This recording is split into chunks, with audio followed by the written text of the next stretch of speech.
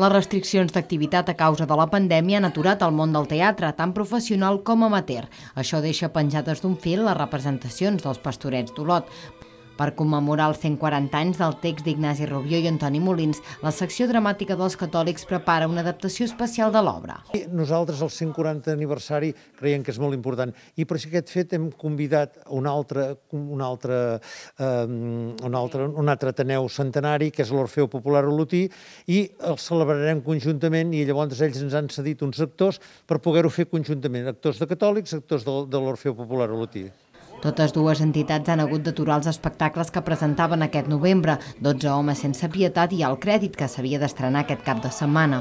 També estan pendents de les autoritats sanitàries per valorar si tiren endavant o no els pastorets. Diem com a mínim almenys un mes. Me, amb menys no podrem fer-ho. Intentarem fer algun recordatori dels pastorets, fent un, una mica de la música dels pastorets i alguns diàlegs, algun muntatge per recordar que estem en, en època de pastorets, eh, Orfeo i catòlics, això ho farem.